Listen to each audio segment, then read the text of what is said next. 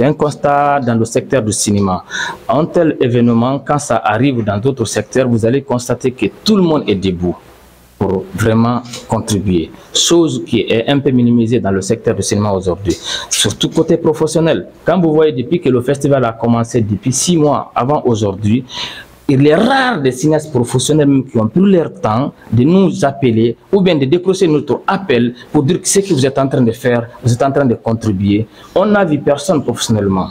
Nous, nous avons quand même pris le, courage d'aller vers les cinéastes professionnels pour leur faire savoir que ce festival, c'est pour la Guinée. Ne voyez pas, parce que la Guinée, on a habitué, c'est la tête de quelqu'un qui, qui, qui, t'amène sur son projet. C'est la tête de quelqu'un, en tout cas, s'il n'est pas sur le projet, pour lui, vraiment, c'est bon, quoi. Ça ne regarde pas. Euh, de toutes les façons, quand on dit cinéaste, un cinéaste, cinéaste conscient, quand on parle de cinéma, c'est cinéaste, la première des choses qu'il va faire, il, va tout abandonner pour se concentrer sur ce qui est du cinéma. C'est pourquoi nous, on le dit.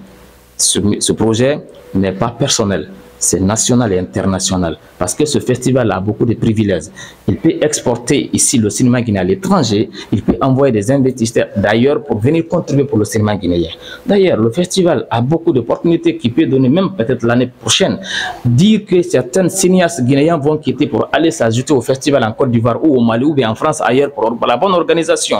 Ailleurs encore, ils vont nous envoyer des gens aussi qui vont nous aider à organiser ici, qui ne sont pas de notre pays. Voilà cet échange-là. C'est une façon de mélanger les cultures, c'est une façon de créer des collaborations, mais ici chez nous, les cinéastes, surtout les professionnels en tout cas, la majorité sont retraits pour, pour dire que peut-être que ça, c'est un projet à eux. Ou bien ils font même projet que nous, peut-être que c'est un même festival qu'eux aussi font. Ils vont pas vouloir que ce festival, ils vont pas contribuer pour que ça avance parce qu'ils font la même chose. Mais est-ce que nous organisons de même manière Non. Est-ce que vraiment il n'y a pas quelque chose que nous nous faisons qu'ils ne vont pas faire? Même nous, chaque festival ici en Guinée, on pousse, on accompagne. Tout ce qu'on peut faire, on le fait. Mais cette année, nous, on n'a pas vu ça encore.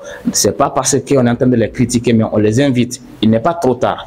Levez-vous parce qu'on parle de cinéma. Levez-vous parce que quand il s'agit de cinéma, c'est les cinéastes. Donc, si ça marche, c'est pour nous les cinéastes. Si ça se gâte, que je ne le souhaite pas, c'est pour nous les cinéastes, ça se gâte. Donc, c'est un appel que je lance dans le secteur du cinéma, que ce festival du 21 au 22 mois de septembre, ça n'a qu'à être du jamais vu. Une façon d'inviter nos responsables à savoir que nous vivons, nous méritons d'être écoutés, dire à ces, entrepreneurs, à ces institutions que le cinéma mérite? Parce que quand on dit aujourd'hui, ça ne va pas dans l'autre pays, c'est les comédies on va appeler pour des, des, des, des, sketchs.